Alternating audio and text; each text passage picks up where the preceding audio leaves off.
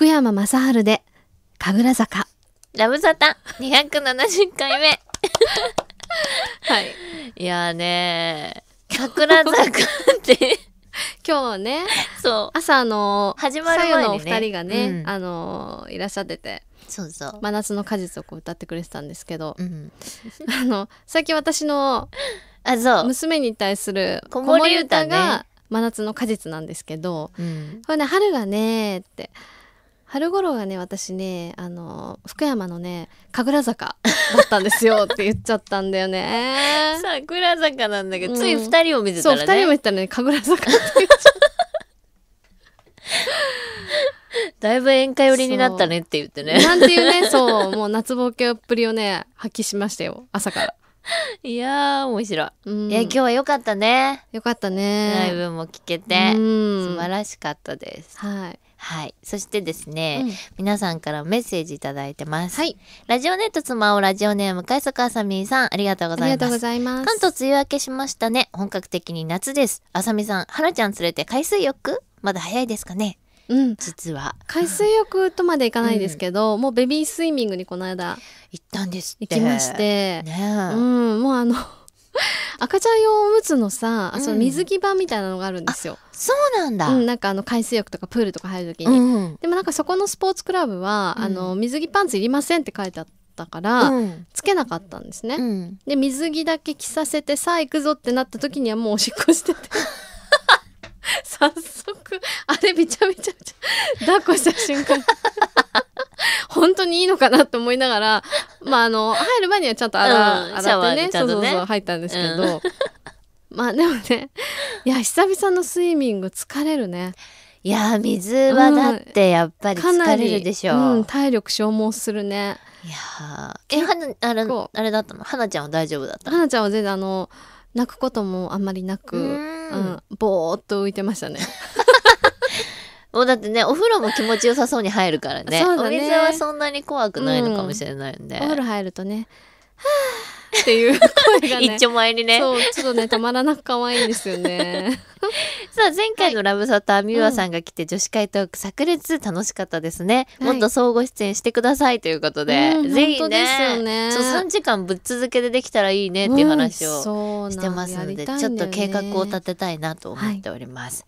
えーラジオネーム高田の純金さんが、ラジオネームをどうやってつけたかと質問されていましたね。うん数名の常連さんは過去に経緯を公開されてましたが、うん快速あさみんので良ければ参考に。うん快速あさみんのラジオネーム JR 東海道線で走っていて、うん私もよく利用している列車名快速アクティをもじり、うんブラサタに投稿するので、あさみさんの名前を無駄、あ そうだったんだ。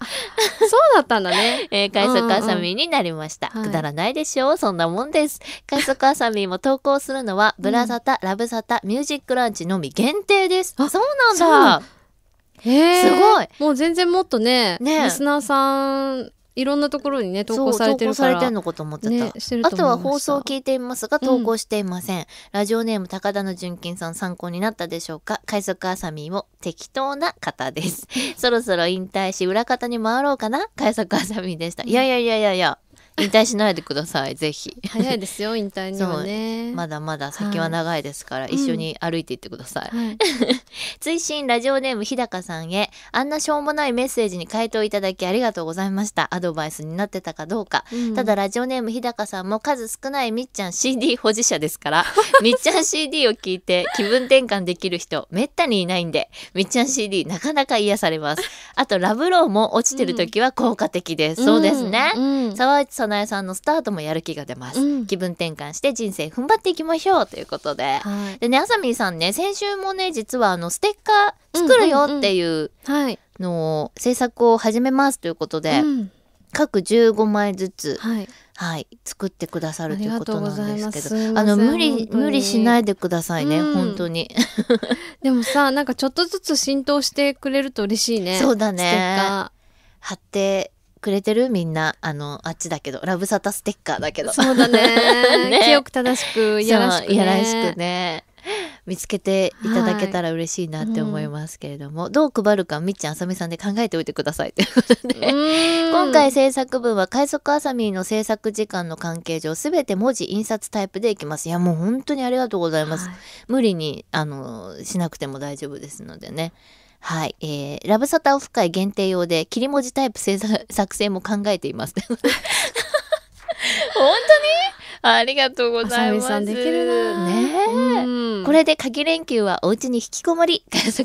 ごめんなさい。ごめんなさい。いいんですよそあんな。の適当にやってくださいそうそうそうそう。何せねパーソナリティが適当な番組なんで、本当だよね。そうなんですよ、うん。だからそんなねあの根詰めなくていいのでね、はい。高田あさみぐらいですからね。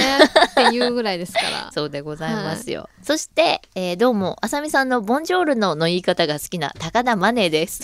なんかそんな特別な言い方してるっけ？普通に言ってるけど。それが好きなんじゃない？あーありがとうございます。えー先週はお願いを聞いていただきありがとうございました。さすがセンスの塊、あさみさん。その意見をいいねと押してくれたみっちゃんとみおさん、ナイストリオです。えーところでお二人は結婚して幸せですか？これは野暮な質問でしたね。マネーは結婚願望がないんです。うん。ないというか結婚イコール幸せとか憧れとかいいイメージではないんですよね。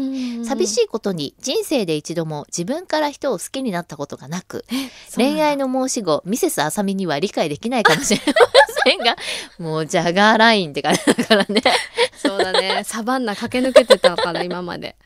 えー告白されて意識しだすというか、うん。まあ嫌じゃないからいっかって感じで付き合ったこともあるんですけどね若い時は、うん30を過ぎてそんないい加減なこともしていられないので今はちゃんとしてますが、うん。なんだか自分から好きになって喜んだり落ち込んだりドキドキしたりって楽しそうですよね、うん。お二人の周りにも同じような人いますか？おっとなんか暗くなってしまったのでここで一発。そこを会議中に踊らない。彼ジャマイカ人です。じゃあまあいっか。使っていいよ。高田マネーでした。バイ。ということで。バイが可愛い。いやすごいモテるんじゃない？もしかしたら宝マネーさん。そんな気がするね。ね。自分から好きになったことないけどだって告白して、うん。まあちょっと意識し始めうて、ん、お付き合いされまあいいかなっていう感じであるんだもんね。付き合うんでしょ？うん。まああんまり困ってなさそうな感じですけどね。ね。でもほら、うん。30過ぎるとやっぱりね、うん。先のことも考えるってなると。でも結婚願望ないんだね。実はね私もなかった人なので、なかったね。そうあの特にうん。絶対しこの年までにしようとかもなく、うん。別にだから結婚がイコール幸せとか憧れっていうイメージは私も持ってなかったから、うん。そういうことではない気もする。うん。うん。あの楽しいよ、楽しいよ、うん。楽しかった。だから私 ね。楽しかったです、うん、なんか多分結婚っていうイメージが高田マネーさんは、うん。あんまり良くないんだろうね。そうかもしれないね。だからなんかこう恋愛の延長ぐらいにちょっと思っておけばいいんじゃないかな、うん。まね結婚するといろいろありますよやっぱ。そうそれかうん。逆に結婚は生活だって思っちゃうか、もう、憧れとかうん。恋愛がとかではなく、もう生きていくために一緒に、あの支え合っていけるうん。パートナーを見つけるっていう、そうなんかさ男の人はさ、うん。結婚イコールこうなんか縛られるっていうイメージあるでしょ、うん。あとやっぱり責任がこうのしかかってくるのかもしれないよね、うん。こうあの奥さんをそうね。一緒にこううん。生活を支えていかなきゃいけないっていう、んだけどなんかそうじゃない二人でこう支え合っていくみたいなさ。そうだね。うん。うん。縛られることもないと思うけどねそんなに。うん。人にもよるとは思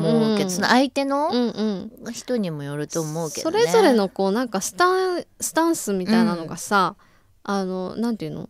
あんまりこう硬くならなくていいんじゃないかな。結婚っていう言葉に。そうそう。うん。だから逆にすごく責任感が強いのかもしれないよね、うん。高田マネーさん自体そうだね。なんかあのねあんまり適当なことできない、うん。ってちゃんと考えてね。らっしゃるから。ううん、んそうですよ。真面目なんだよきっと。とてうん。も、そうかもうねん。うん、な気がする。でも私の周りも今多いですよ。あんまり恋愛に前向きじゃないっていうか別にいっかみたいに思ってる。うん子たちも多いかもしれない。もう別にいっかって思うのって20代ですよ。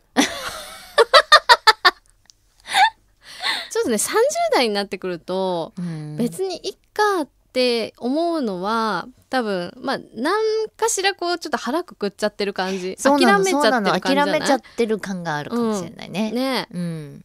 だからねそうあの人生そういつ何が起こるかわからないからね。やり直しもできるけど、うん。ただね若返りはできないから 結構ねやっぱね今のうちにやっとかなきゃいけないこともあるってことをうん。考えた方がいい。考えて結婚した。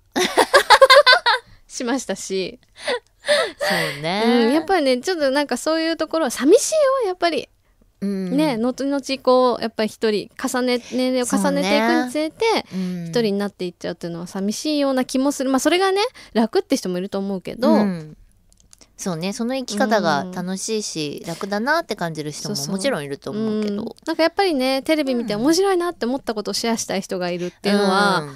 ちょっと幸せだなと思うけどね。そうだうん。ね、でも結婚があれでもさほら子供ができたらまたさらにさちょっと人生が変わってくるから、変わってくると思う、うん、だ大きな決断ではあるけどね、うん、だから真面目になるのは当たり前なんだけどね。まあまあそうだけどね、うん。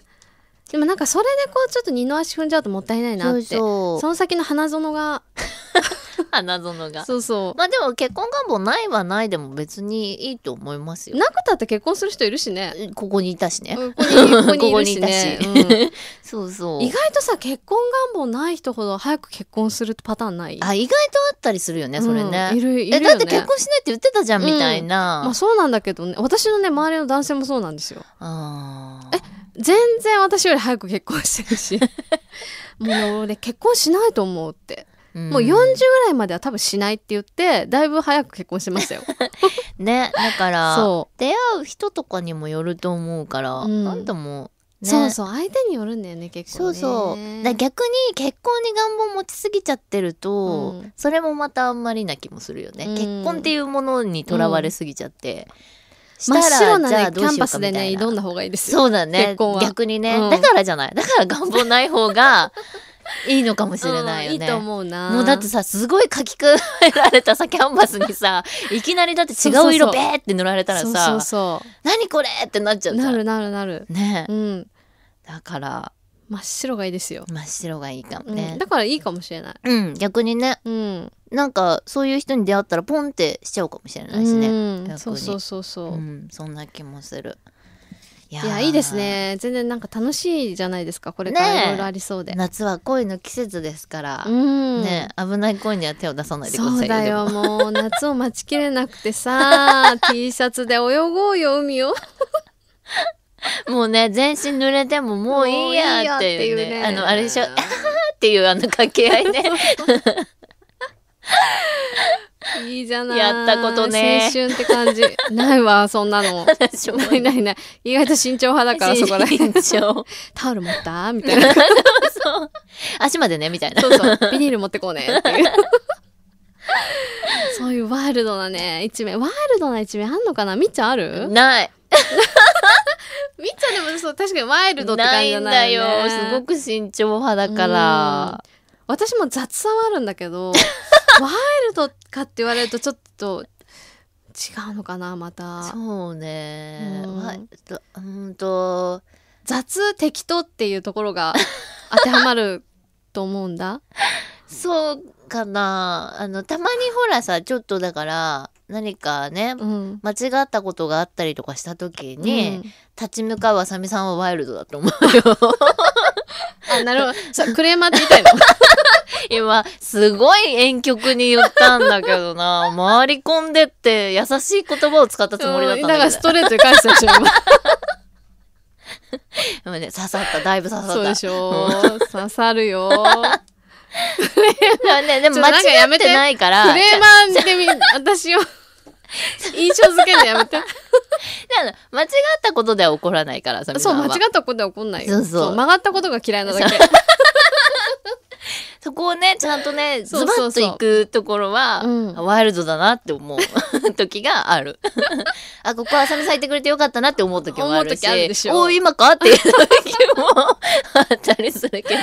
いやだってほらそれはうん。自分だけじゃない相手のためにもって思う時に言うだけ、うん。なんか別にもういいかっていう時は言わないよ、うん。だけどこれはちょっとないだろうなっていう時に、ちょっとこうあの心の中の剣がねそう。